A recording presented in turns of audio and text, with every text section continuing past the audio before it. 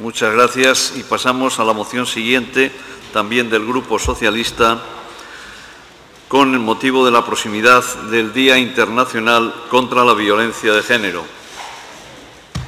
Lo presenta la señora Barrios.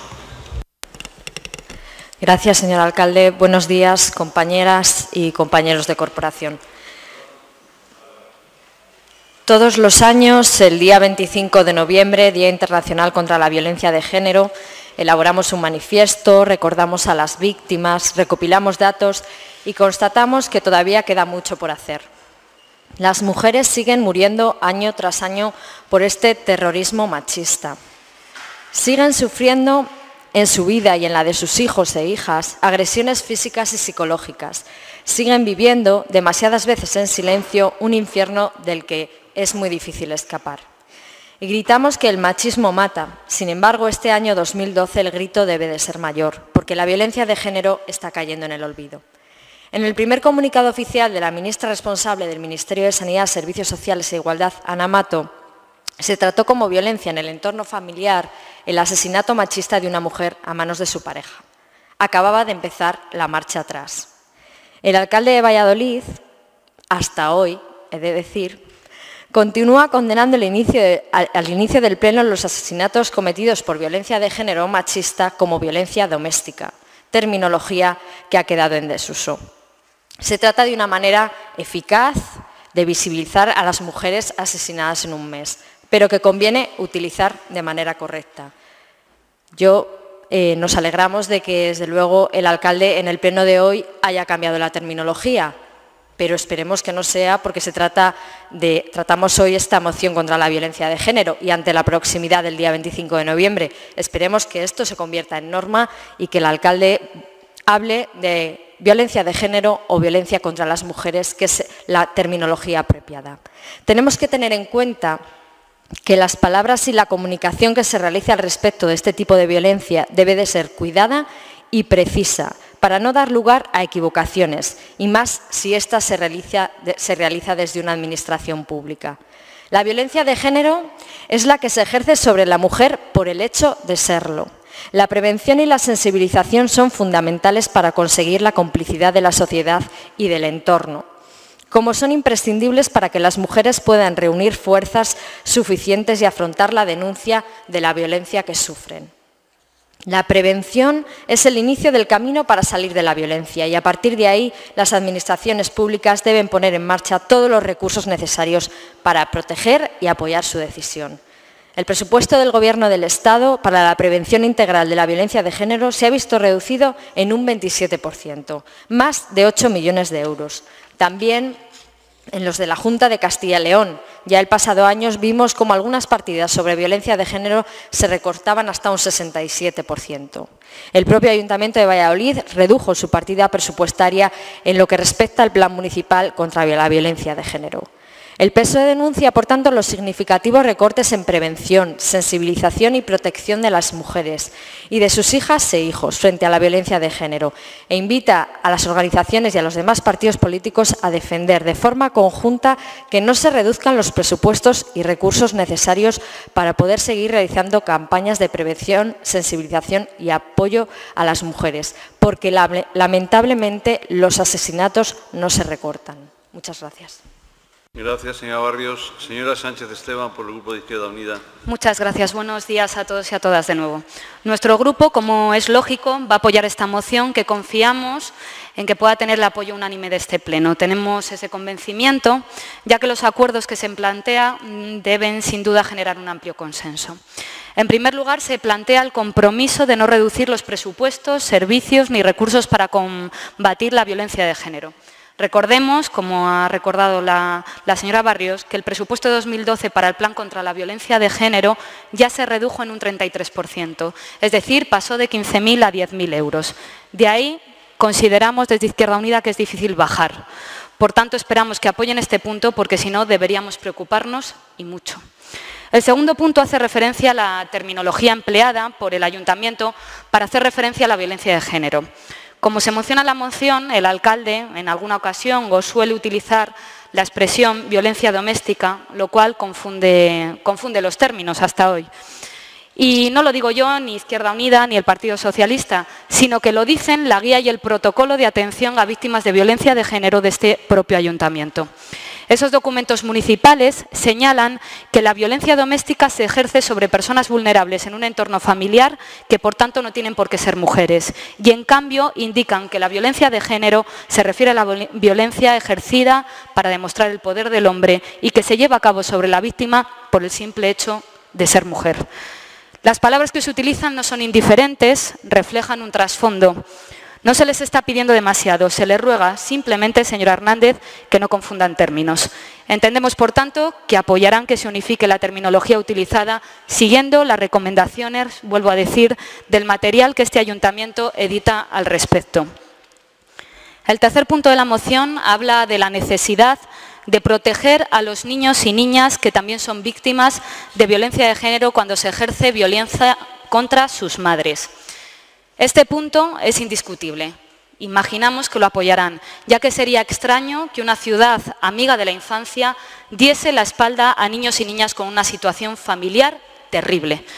Por último, se hace referencia a que el Ayuntamiento de Valladolid inste a la Junta a no reducir su presupuesto algo perfectamente exigible si tenemos en cuenta que ya estamos viendo las consecuencias de las mal llamadas políticas de austeridad y partiendo de que la acción municipal en este terreno poco puede hacer sin la coordinación con otras administraciones. En fin, la igualdad entre mujeres y hombres sigue constituyendo una asignatura pendiente en nuestra sociedad y la manifestación extrema y terrible es la violencia de género. La violencia machista es consecuencia de la construcción social de los roles masculinos y femeninos y se puede expresar de formas muy diferentes y de manera tanto consciente como inconsciente, de forma puntual o mediante nuestras conductas cotidianas. De hecho, es posible que la forma en la que hoy en día se muestra más este tipo de violencia sea al menos en parte una reacción ante los cambios del papel de las mujeres en la sociedad que construyen una nueva feminidad.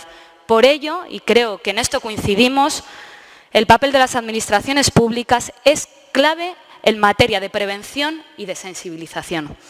En ocasiones, la violencia machista muestra su rostro más crudo cuando conocemos casos de lesiones graves o incluso de agresiones mortales que se comentan en todos los plenos al empezar las sesiones. Pero existe una violencia cotidiana de baja intensidad, formas más sutiles de discriminación y represión que en ocasiones resultan mucho más efectivas para perpetuar las relaciones de dominación.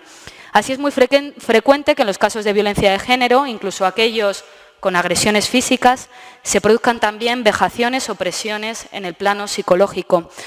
Cuando un hombre, por ejemplo, interrumpe constantemente o pone en evidencia a una mujer en público, cuando controla su relación con otras personas o cuando le dice que no vale para hacer tal o cual actividad, lo que está produciendo es una pugna por la esfera social pública.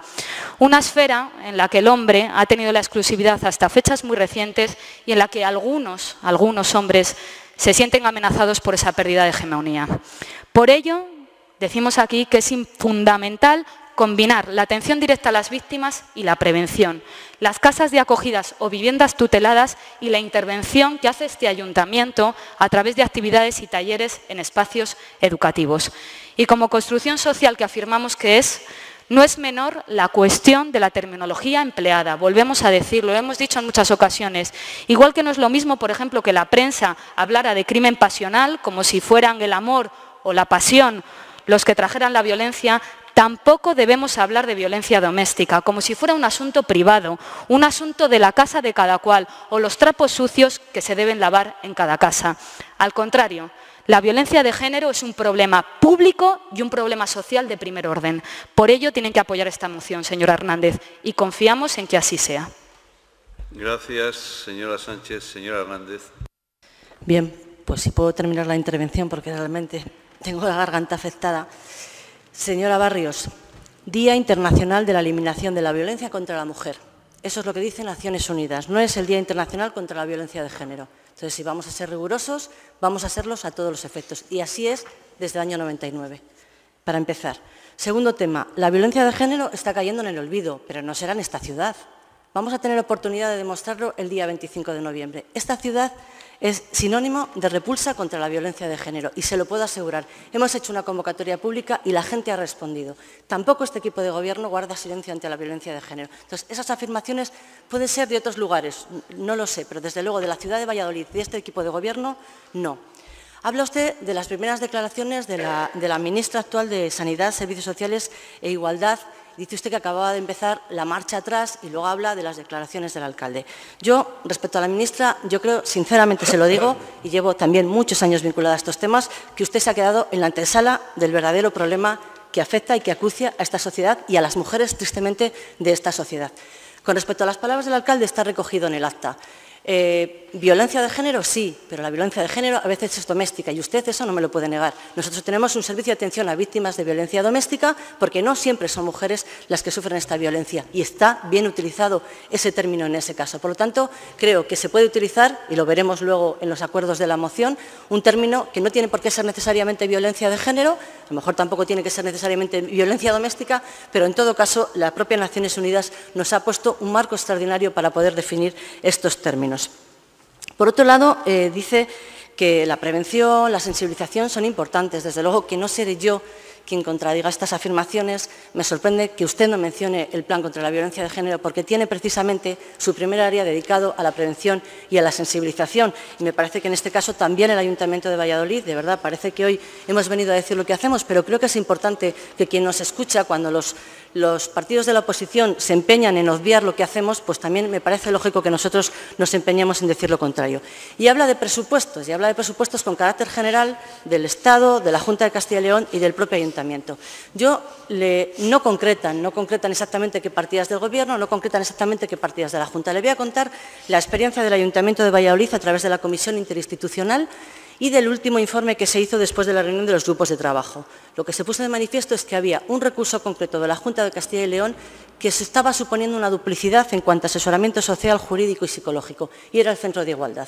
No en todo, pero sí en parte. La decisión que ha tomado la Junta es quitar ese centro este año. Yo lo que le digo es que se ha reducido el presupuesto, a lo mejor porque lo que se ha hecho es intentar evitar duplicidades y, tener una mayor coordinación. Es nuestro posicionamiento. Y luego una aclaración, y se lo digo, señora Sánchez, de cara a la pregunta que ha planteado después. Los 5.000 euros son solo de una partida, una partida que tenía 15.000 euros y baja a 10.000. Una partida que está relacionada con el diseño, es decir, con el diseño y con la imprenta. En el año 2011 nosotros lo que hicimos fue utilizar la campaña contra la violencia de género de la Junta de Castilla y León y eso nos permitió poder reducir el presupuesto. Entonces, quiero aclararlo porque parece que hemos reducido todo el presupuesto y estamos hablando de una partida concreta, la 22611. Entonces, eso yo creo que es importante comentarlo.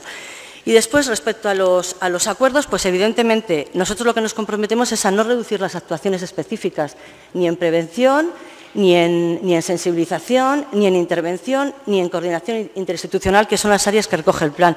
Pero, desde luego, vamos a ser realistas y hay cosas que se pueden hacer y se pueden gestionar con menos dinero. No nos vamos a comprometer a no quitar ni un solo euro porque posiblemente lo podamos hacer quitando algún euro de las partidas que ahora mismo tenemos. Y lo uno con la cuarta propuesta en ese sentido que usted hace, señora Barrios. Dice que estemos a la Junta a no reducir los presupuestos. Es que posiblemente también la Junta puede hacer algunas actuaciones, algunas que se ha visto claramente que se estaban duplicando con menos dinero. En todo caso, le vuelvo a decir lo mismo que le he dicho cuando hablábamos de personas mayores, que sean los procuradores sociales los que pidan en el entorno de las Cortes de Castilla y León y la Junta de Castilla y León que la financiación de la Junta de Castilla y León sea la adecuada para esos recursos. Por otro lado, se habla de la segunda propuesta, que es una única terminología. No, eh, el, plan de, contra la violencia de género ya tiene esa terminología, por lo tanto no tenemos que modificar nada Claro, pero es que si hablamos de servicio de atención a víctimas de violencia doméstica, yo no me voy a poner de género, pues es que ese servicio policial atiende todo tipo de situaciones de violencia doméstica. Entonces, hay cosas que no podemos cambiar porque son así. Y por otro lado, mm, yo de verdad le pido que se ponga usted de acuerdo con Naciones Unidas. Si usted llega a un acuerdo con Naciones Unidas, nosotros cambiamos la terminología. Les sigo diciendo que es el Día Internacional de la Eliminación de la Violencia contra la Mujer. Por lo tanto, creo que su propuesta se podría cambiar con una enmienda en boche que me va a permitir hacer, en lugar de por una terminología, por una adecuada terminología. Es decir, que cuando no sea doméstica no utilizamos doméstica y que tengamos claro cuál es la delimitación. Pero desde luego una única no, porque a mí me vale violencia de género y a Naciones Unidas también le vale que digamos eliminación de la violencia contra la mujer. Y respecto al tercer aspecto que usted nos propone, de verdad se lo digo, léase el Plan Municipal contra la Violencia de Género.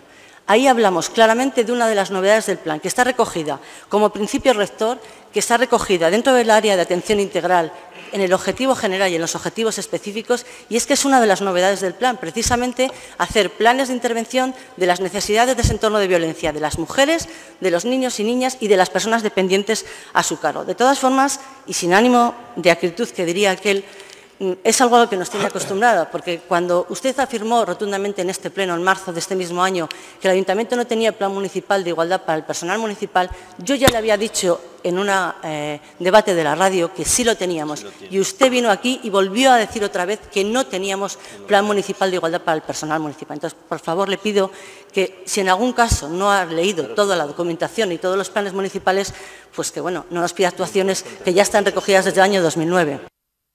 Gracias, señora Hernández. Señora Barrios. Como siempre, señor Hernández, usted desviando la atención. Que nos leamos que sí, señor Hernández, que me he leído entero el plan de prevención contra la violencia de género. Y le voy a decir una cosa, le voy a decir una cosa, porque venía clarísimo, clarísimo en, en mi propuesta y en la moción. Yo le voy a recomendar a usted, que a lo mejor no se lo ha leído, va a recomendar, pues yo le voy a recomendar a usted que se lea la propuesta de intervención integral en el ámbito local contra la violencia sobre la mujer guía de la Federación Española de Municipios y Provincias, en el que hace una clara distinción entre lo que es violencia doméstica y lo que es violencia de género. Se lo voy a leer, se lo voy a leer, y al señor alcalde también, porque una de las cosas que ponía y pone clarísimamente en el acuerdo es que no podemos leer y hacer una relación de las mujeres asesinadas mes tras mes y luego hablar de violencia doméstica.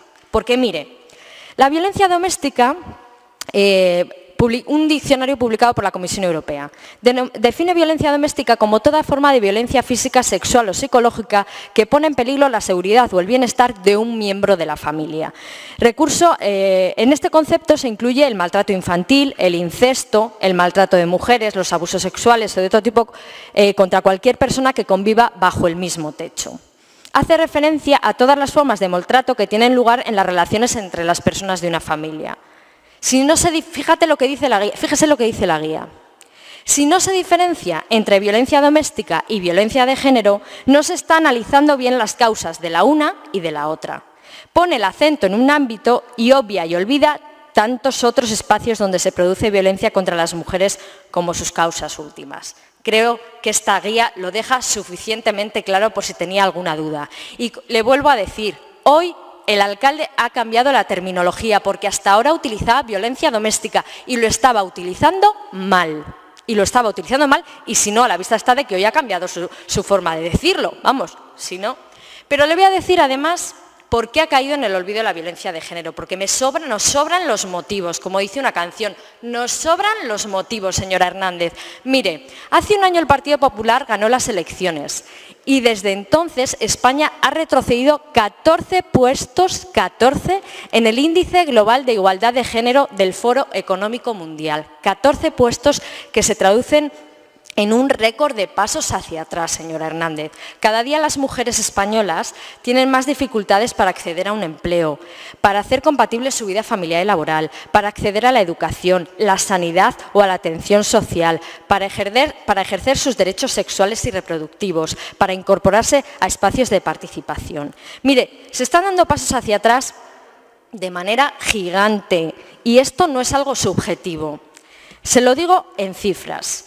El presupuesto del Instituto de la Mujer en el año 2011 era de 20.000 millones de euros, ahora de 13.000. La delegación del Gobierno para la violencia de género de 30.000 millones de euros, ahora de 22. En el 2013 se han recortado un millón y medio de euros en programas de asistencia social para mujeres y víctimas de violencia de género. Hay datos, pues, para la preocupación. Mire, no lo decimos nosotros, señora Hernández, lo dice el Observatorio de la Violencia de Género del Consejo General del Poder Judicial.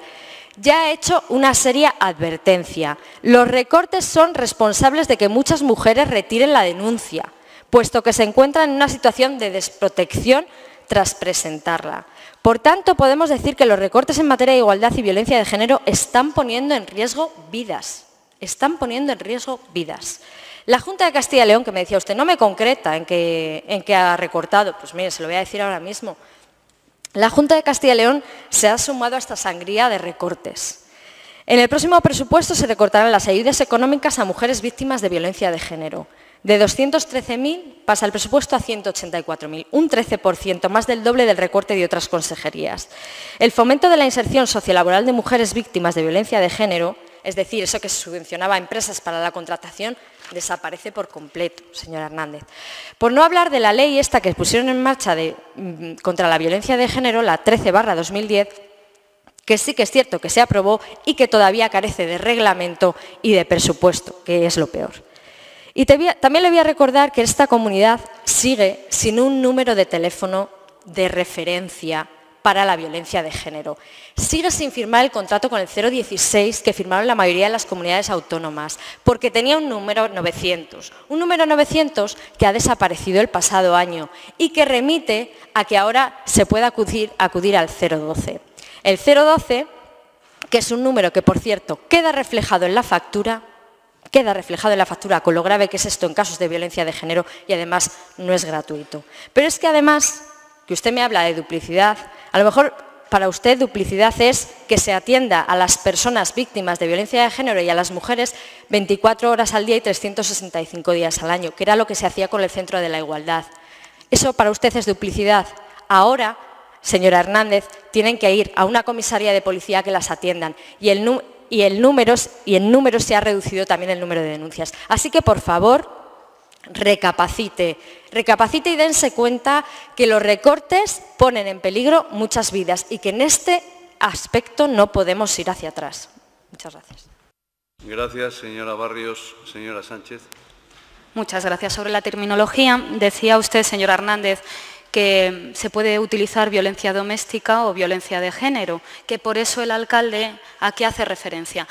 Aquí cuando damos datos o cuando el alcalde da datos habla claramente de víctimas de violencia de género, solo habla de mujeres, muertas. No habla ni de personas dependientes, ni mayores, es decir, habla solo de mujeres. Por tanto, la terminología correcta es violencia de género o violencia contra las mujeres.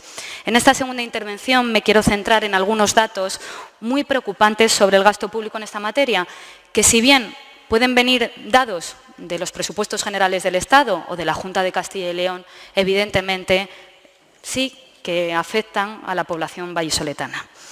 A ver, em, ya hemos dicho muchas veces que da la sensación de que las políticas de igualdad son las primeras que van al cajón de las cosas que pueden esperar. Hablaré tanto de las cifras específicas de políticas de violencia de género como de recortes de igualdad, porque como hemos dicho, y creo que estamos de acuerdo, es un problema con un trasfondo muy claro. A nivel estatal, las políticas de igualdad se recortan en los nuevos presupuestos generales del Estado un 24% respecto a 2012, casi el triple de la media que se recorta en otros ministerios, que se recorta un 8,9%. Y la lucha contra la violencia de género se recorta en un 7%. En el ámbito estatal, si se compara con 2011, la bajada es terrible. El recorte es de 39 y de 27% respectivamente. Por parte de la Junta de Castilla y León, que la tenemos muy cerca, el porcentaje de la Consejería de Familia baja un 5,89%, lo que supone el mayor recorte desde que comenzó la crisis. Ello repercutirá sin duda en el retroceso de las políticas de igualdad y evidentemente en la prevención de la violencia de género. Debe señalarse además que en la Ley de Presupuestos de Castilla y León no se ha realizado el preceptivo informe de impacto de género porque las políticas también tienen que ser transversales, no solo nos afecta a las mujeres las leyes de igualdad o las leyes contra la violencia de género, sino todas las leyes en su conjunto. Como decía, no se ha hecho un informe de impacto de género conforme marca la Ley 1-2001 de 1 de marzo de evaluación del impacto de género de Castilla y León, que incorpora la obligación de realizar una evaluación previa del impacto de género en las leyes que promulgue la Junta de Castilla y León. A todo ello debemos sumar que están caducados tanto el cuarto plan de igualdad de oportunidades entre mujeres y hombres de Castilla y León y también el segundo plan contra la violencia de género. Ambos te expiraba el plazo en 2011 y, como dice usted muchas veces, y lo dice bien, se ha prorrogado. Pero consideramos que nos estamos jugando retrocesos históricos y, por tanto, no podemos mirar a otro lado si la Junta está cometiendo estas tropelías. Tropelías, sí. Pero aún hay en más. Desaparece, como ha dicho la señora Barrios, la red Mujer Empleo, se han cerrado 18 oficinas a nivel de Castilla y León que venían atendiendo a 6.000 usuarias en 2011. Usuarias que también eran vallisoletanas muchas. No podemos mirar por otro lado, lo, lo vuelvo a decir. Además, esta red facilitó la creación de nada más y nada menos 389 empresas. Y desaparece también el Centro de Igualdad de Castilla y León, lugar de referencia integral a la mujer en materia de igualdad y en prevención de la violencia de género. En total, alrededor de 60 puestos de trabajo normalmente ocupados en su mayoría por mujeres.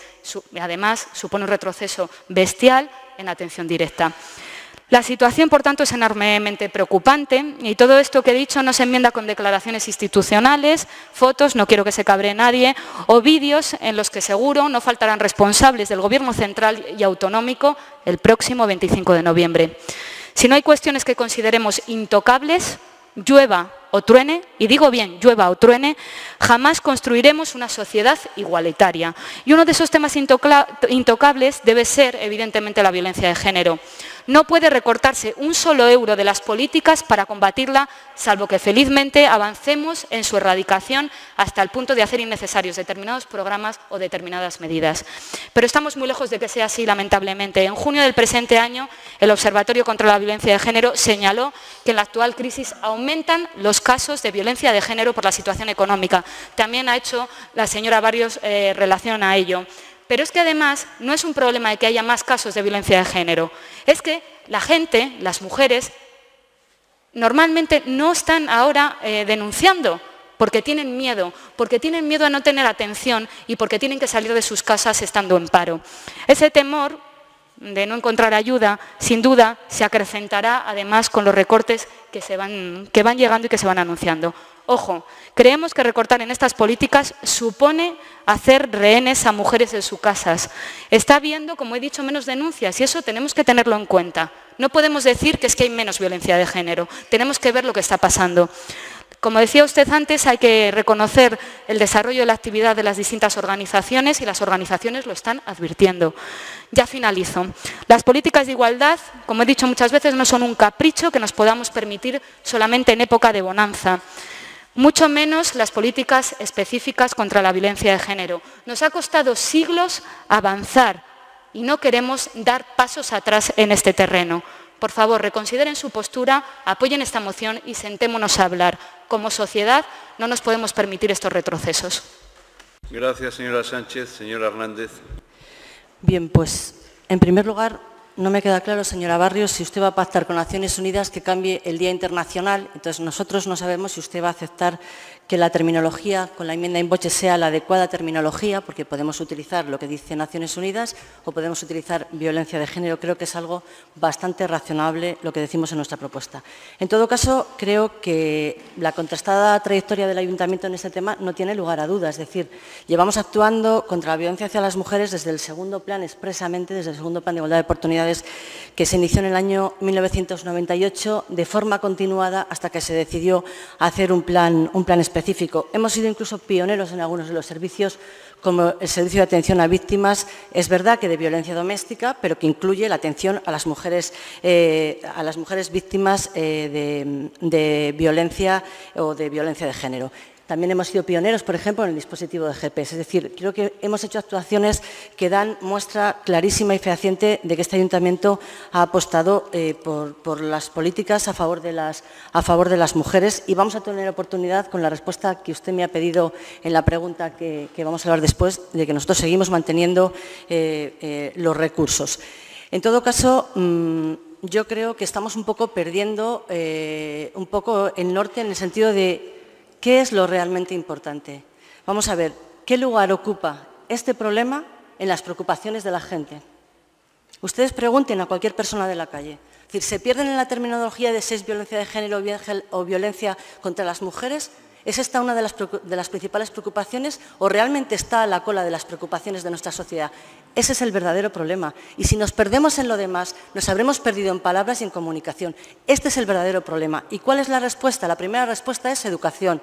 La segunda respuesta es educación y la tercera respuesta es educación. Y me sorprende muchísimo que en este pleno no se haya llevado de que tenemos que empezar a enderezar el árbol desde el primer momento. Y eso es donde hay que incidir, en la educación, precisamente porque lo que está demostrado es que todas las políticas a favor de la igualdad de oportunidades de las mujeres en nuestra sociedad no han dado los resultados. La ley integral del año 2004 del Partido Socialista, que abanderó como una iniciativa impresionante, ¿qué es lo que ha conseguido en, respecto a las muertes de mujeres?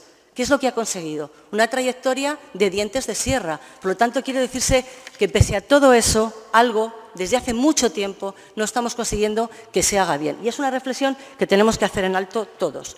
Sigo insistiendo en la necesidad de coordinar actuaciones, sigo insistiendo en la necesidad de no duplicar y creo que eso es una, clara, una clara, realidad que se, ha, que no lo digo yo, que es que la duplicidad la han dicho las personas responsables de cada uno de los servicios y administraciones que participan en esta comisión y está en el informe que trasladamos en su momento a los grupos políticos. Le digo más, yo personalmente creo que sí que es bueno que se integren los teléfonos, porque eso hace que la vía de acceso sea una y no varias. Es mi opinión personal, pero no es un recurso del Ayuntamiento de Valladolid, por lo tanto, quien tenga la competencia será quien lo tenga que hacer y estoy segura que se lo está replanteando.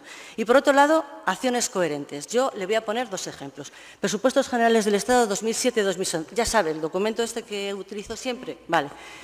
Eh, a la comunidad autónoma y que tiene repercusión en el Ayuntamiento de Valladolid. Violencia de género e igualdad la reducción pasa de 282.795 a 199.000 euros, una reducción del 30%, gobernando el Partido Socialista. Y voy a concluir recomendándoles una lectura.